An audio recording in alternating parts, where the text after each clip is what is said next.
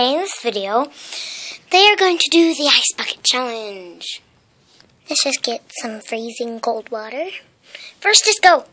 Oh, yeah. Now that's why you always live under the ocean. Woohoo!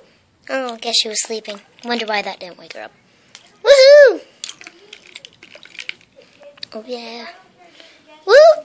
Water comes out of her nose. She deserves two. Or three. Not four. Snowflake. Snowflake gets another one. Sunny. And Pinky. Bubble. Last but not least. Snowflake. I mean, wait, I already did her. Never mind. Okay. Alright, I'm going to pour the rest of my foot and see how it feels.